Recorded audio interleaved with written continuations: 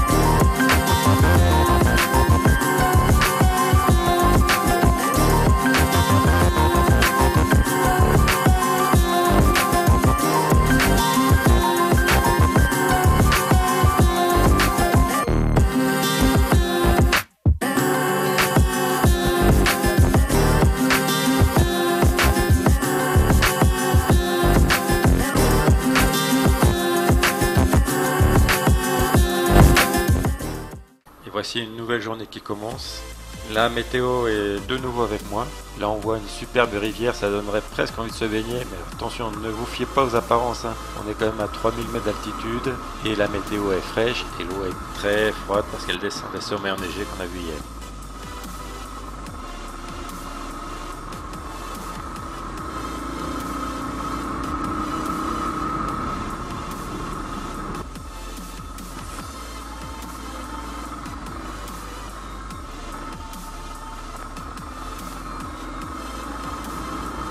N'y paraît pas à première vue, mais ça fait déjà un bon bout de temps que je grimpe. Et en fait, ce que je saurai plus tard, c'est que la route que l'on suit va dépasser les sommets qu'on voit au fond de l'image.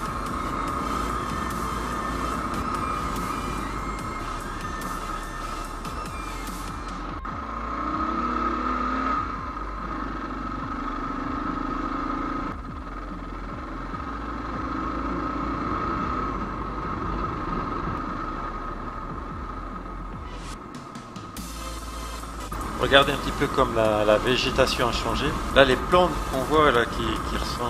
Ah bah tiens, il est sur celui-là. On, va le laisser courir et on reprend. Ah mais bon, si tu restes devant, on va pas y arriver. Voilà.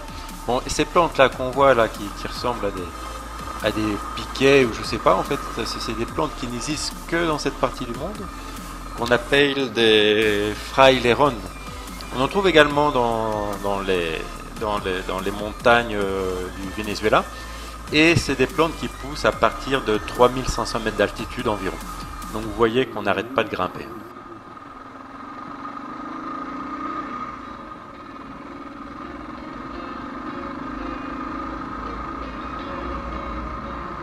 Un tout dernier aperçu des sommets enneigés du parc naturel de Cocuy avant que l'on passe sur euh, l'autre versant. Alors profitons-en pour euh, reprendre notre carte. Donc on part euh, de la zone centrale de Cocuy et on va essayer donc de se diriger vers Bogota. Euh, je disais au début 2-3 jours, je pense que ce sera plutôt 4-5 jours en fonction de la météo pour pouvoir arriver jusqu'au Bogota. Bon allez c'est reparti, on est tout proche d'arriver au col et les paysages sont absolument superbes mais là ce que vous voyez pas dans la vidéo c'est le froid.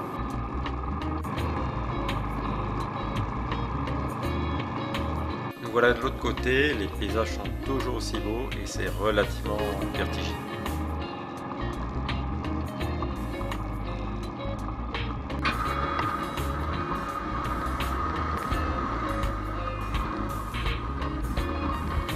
Regardez ce- cet immense canyon et la route qu'on va prendre, c'est celle qui descend. C'est absolument vertigineux.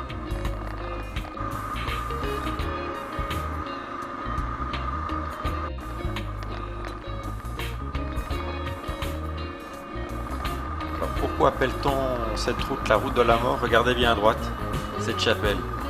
À votre avis, elle est là pourquoi Alors j'attends les réponses. C'est tout simple. C'est qu'à chaque fois qu'il y a une voiture, un bus ou autre qui tombe, il y a une chapelle. Alors là, regardez à droite, il y en a une petite. Alors là, il doit y avoir que 2-3 personnes dans la voiture. Celle d'avant, ça devait être un bus.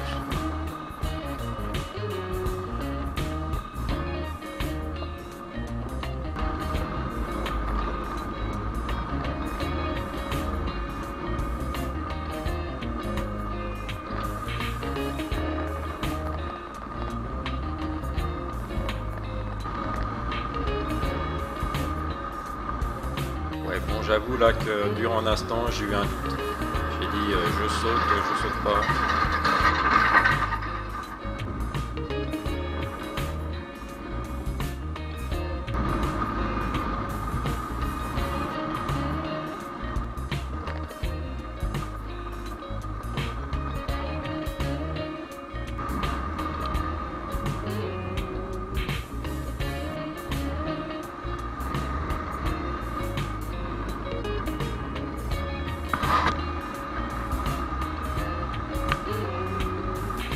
Alors vous vous demandez sans doute pourquoi euh, cette piste euh, est aussi noire. En fait, je viens de me rendre compte qu'il y a des mines de charbon un peu partout. Et donc le, sol euh, est noir parce qu'il est, plein de charbon. Alors à partir de là, j'ai commencé un plan galère pas possible que j'ai pas pu filmer bah, parce que ma deuxième et dernière batterie de la GoPro s'est déchargée. Basiquement, euh, trois quarts d'heure euh, avant la tombée de la nuit, j'ai eu un problème sur le chargeur du téléphone euh, qui me charge le GPS. Et je me suis retrouvé, bah, téléphone est, éteint et donc sans GPS. Alors bon, en tant que warrior des grands chemins et des grands, des grands voyages, hein, quand je dis ça de manière ironique, je me suis dit, bon, bah, peu importe, hein, j'ai fait pire, etc. Je peux être sans GPS, je continue mon chemin, et puis de toute façon, trois quarts d'heure est fini, donc au prochain village, je m'arrête qu'à cela tienne, je continue. Alors les intersections s'enchaînent les yeux derrière les autres, normal. Quand c'est comme ça, on ne sait pas trop où on est, on dit bon, bah, on suit la, piste qui est toujours la plus large. C'est la règle du bon sens. Donc je continue, j'enchaîne, j'enchaîne les kilomètres. Et puis, euh, ma foi, le, jour commence à vraiment baisser.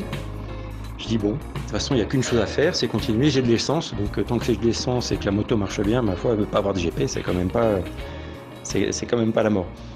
Et résultat que bah, le chemin qui était au début euh, praticable euh, même par un camion ou un bus, euh, bah, petit à petit s'est transformé en, sentier et pratiquement ce qu'on appelle en single track, c'est-à-dire la largeur à peine d'une moto.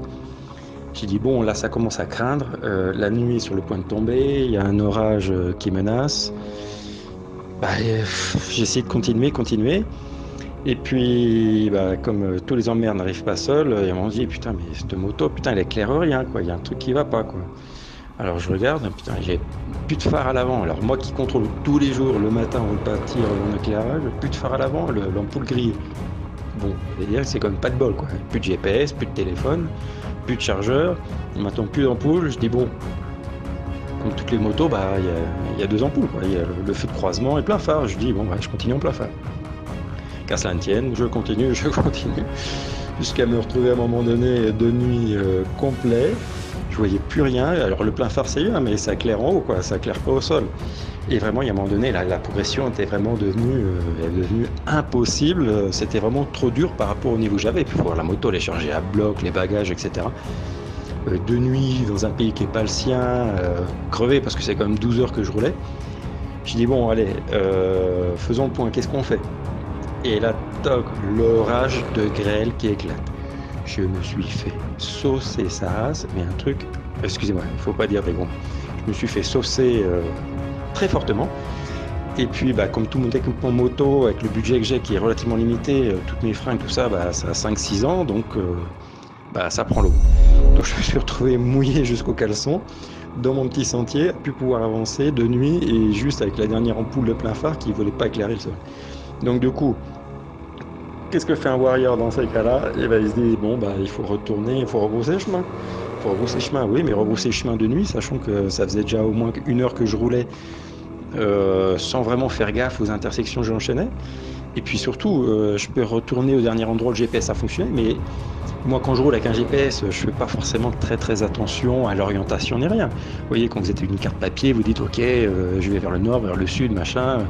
Le soleil est là, oui, mais là, euh, on est de nuit, sous la pluie, je vois plus rien, je suis trempé, et la moto éclaire bien.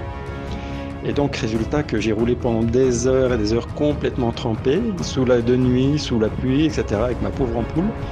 Et j'ai finalement réussi à retrouver en pleine nuit un petit village où j'ai réussi à trouver quelqu'un qui a bien voulu m'ouvrir euh, une porte et euh, me donner un lit pour pouvoir euh, me reposer. Et ça a vraiment été le plan galère. Et bien sûr, c'est toujours à ces moments-là qu'il bah, n'y a plus de batterie pour, pour la caméra GoPro. Enfin, tout est à l'arrêt, quoi. Plus de téléphone, plus rien. Enfin voilà, le genre de plan casse-couille et en espérant que demain, bah, tout aille mieux.